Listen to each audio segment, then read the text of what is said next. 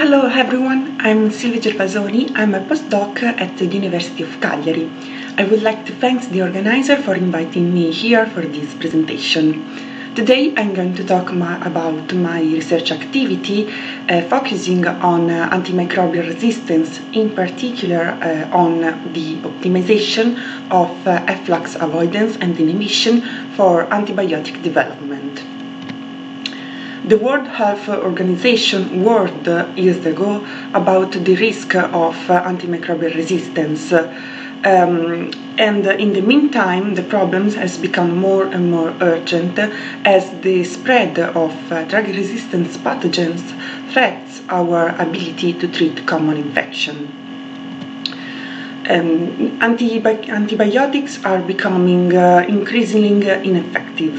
Here I reported uh, a map showing the distribution of uh, a carbapenem resistant bacterium all that spreads all around the world.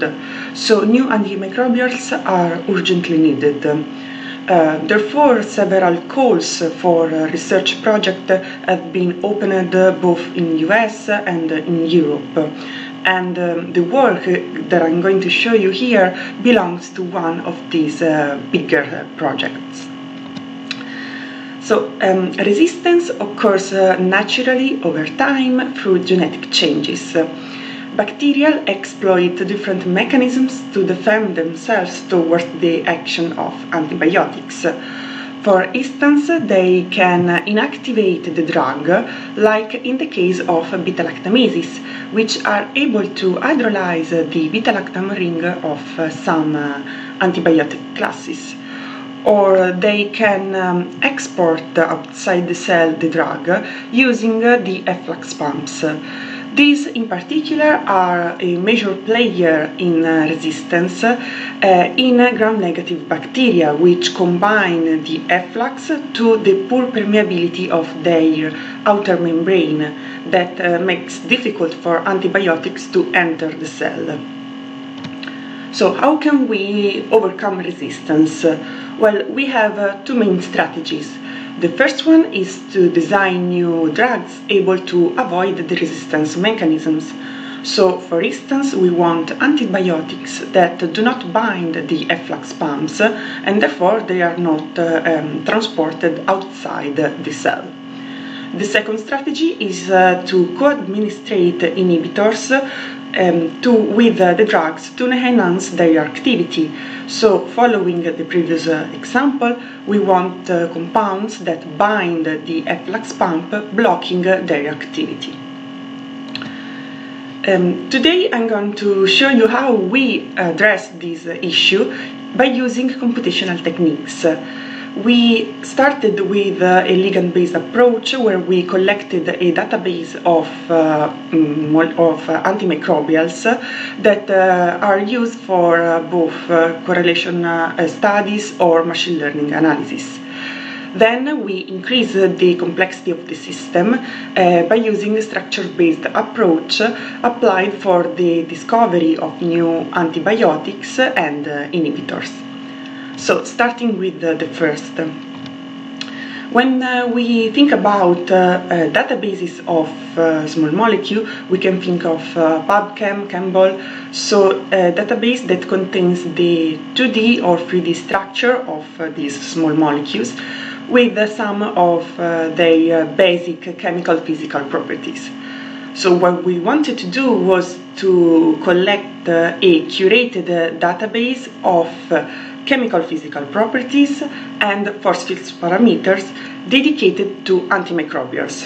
Therefore, we created a BDB which contains more than 300 antimicrobials belonging to 25 different classes, including both traditional antibiotics and also inhibitors. Um, for each uh, structure, we for each uh, uh, compound, we downloaded the structure from PubChem. We we checked the protonation and the tautomeric states. We performed a DFT-based geometry optimization followed by a single point. Then the QM results were used for the force field generation And finally, we perform a 1 microsecond MD simulation on all of these compounds. So from this pipeline, we obtain the QM optimized structure for each compound and also some um, structural cluster extracted from the MD simulation. From each of these steps, we also extracted molecular descriptors, both standard and non-standard, so QM and MD derived. ABDB is freely available on Figshare at this link, where we shared all the input and output file that the user can download and reuse. All of these descriptors can uh, be applied for uh, correlation and machine learning studies um, in order to explore uh, different aspects like the permeation or to perform some prediction activity. Um, in uh, this second case study, I'm going to focus on the efflux, and um, in particular, uh, we focused on this gram-negative bacterium called Pseudomonas aeruginosa. Um, the transporter MEX-A, OPRM is the major one of Pseudomonas aeruginosa. It is a tripartite uh, antiporter system, drug uh, proton antiporter system, which extends from the inner to the outer membrane. It exploits uh, the energy associated to the transport of proton to expel out of the cell various ligand classes.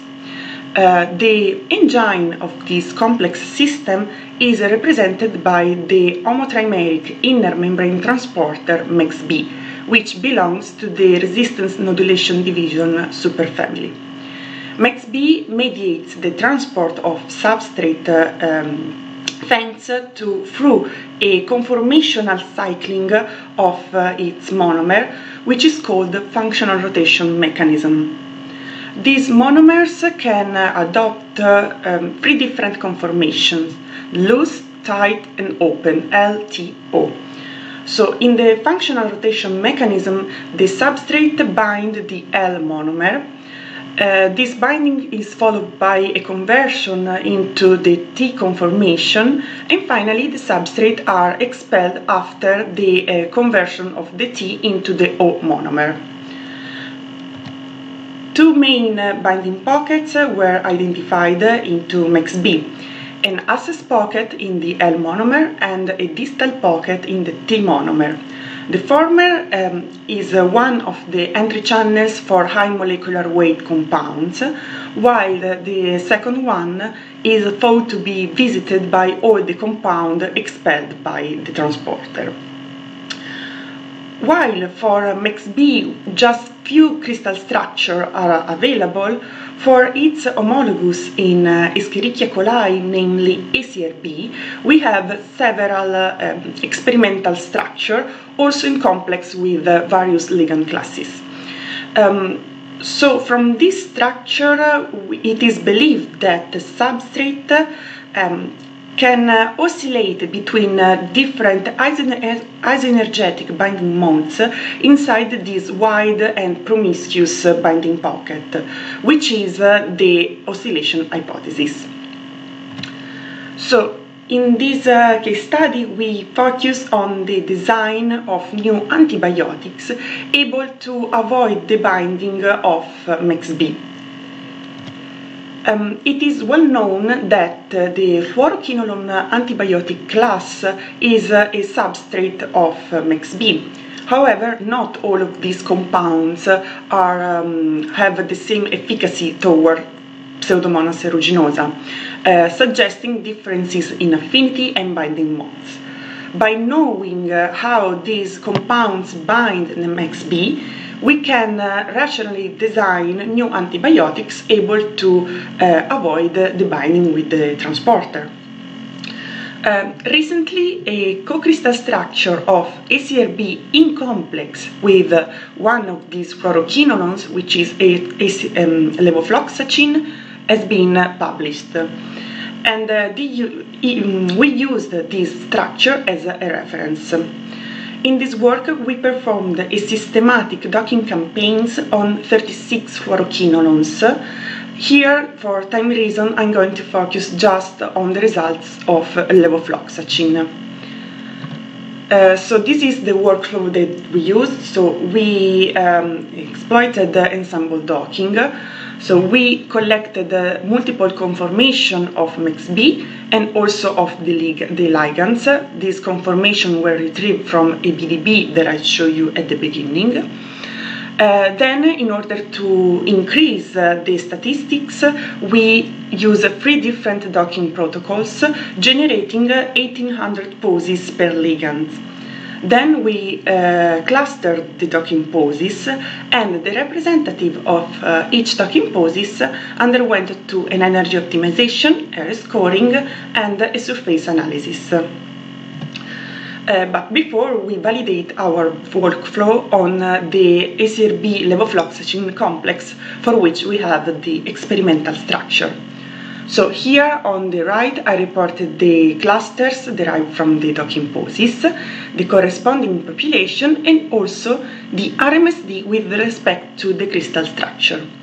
So as you can see, the, uh, the most populated cluster were able, was able to reproduce uh, the um, experimental structure with uh, an RMSD of uh, 1.3 angstrom. Uh, below I reported the residue of the distal pocket and I colored in red those residues that were in contact with levofloxacin in the crystal structure. In ensemble docking, we have statistics of contact derived from all the docking poses. Therefore, the heat map that you can see here reports the percentage of contacts of the docking poses. And uh, you can see that the docking was able to find the same contacts of the experimental structures but also it found other contacts suggesting that different binding mode inside the pocket are possible. Then we of course applied our uh, workflow to MEXB, so docking, clustering and optimization. Um, here again I reported the cluster and their population. So the most populated cluster is the one in green, was uh, placed in the same region of levofloxacin in the, the crystal structure. But uh, as before, also here we found alternative binding modes, like the one in magenta in the deeper portion of the pocket and the one in yellow in the middle of the pocket. So these results suggest that levofloxacin preferentially bind in the uh, same region of uh, levofloxacin found in the uh, X-ray structure. However, different um, binding modes are possible throughout the pocket, which is in agreement with the oscillation hypothesis. Um, given the lack of uh, experimental structure between uh, of uh, MEXB in complex with uh, quinolones, we made available at this web page all uh, the 36 complexes uh, that we obtained with docking that user can visualize and download. Ensemble docking um, takes into account indirectly the flexibility of both the protein and the ligands. However, it lacks a description of the evolution of the system over time, which is something that we can uh, analyze with uh, MD simulation. Um, so in this uh, last case study, uh, we use uh, MD simulation to study the behavior of uh, inhibitors. Um, this is a work in progress, but uh, I would like to share with you our preliminary results. So, um, as I mentioned, here we are focused on inhibition, in particular on competitive inhibition.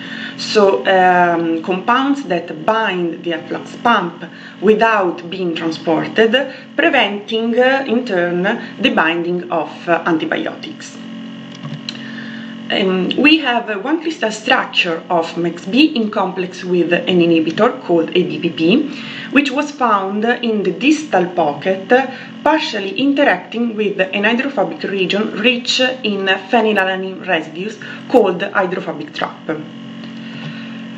Here we um, worked on these uh, RAMPEX compounds, which are peptidomimetics, and uh, experimental data uh, shows that uh, although they have a similar structure, they can be divided into different classes.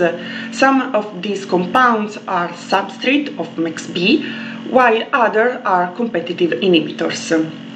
Previous studies uh, tried to find some predictive rules able to distinguish between these different classes.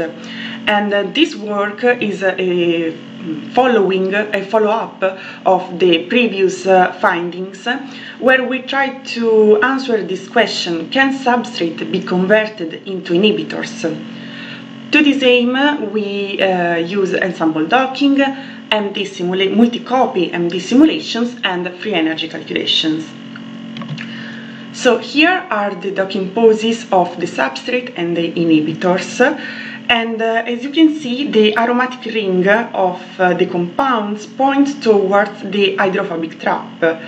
But in the uh, inhibitors, differently from the substrate, the interaction in, uh, is uh, more tightly and it established some pi-pi stacking interaction with the phenylalanine, which is something that we saw also in ABPP, in the other inhibitor that I showed you before. Then these poses underwent two multi-copy MD simulations and uh, we found that the substrate explored the binding pocket more than the inhibitor, which is something that we can see from the RMSD values. Uh, while here below I reported the percentage contribution of the residues to the binding uh, free energy we can see that the inhibitors interact with the few residue to a greater extent compared to the substrate, which conversely interact with more residues but to a less extent. So um, these results together are again in agreement with the oscillation hypothesis, so where the substrate seems to uh, explore the pocket and uh, adopt different binding mode with similar uh, binding energy while we speculate that the inhibitor binds more tightly to the hydrophobic trap. So these are preliminary results. We are now performing some mutational analysis on these key residues uh, to confirm the, uh, these um, computational results. And uh, we are also performing other MD simulations in order to increase the statistics. And also we are thinking about uh, using uh, different methods for the free energy calculation. So in conclusion, I, wanted, I wanted to show you uh, different techniques, computational techniques to handle, to address antimicrobial resistance, which is a complex uh, problem and uh, it is also multifactorial. So I believe that it's important to use uh, um, different techniques and to um, tackle this issue from different sides. Uh, I just like to, I just want to thank my research group, our collaborators, and of course all of you for your kind attention, and I will be happy to answer uh, your question.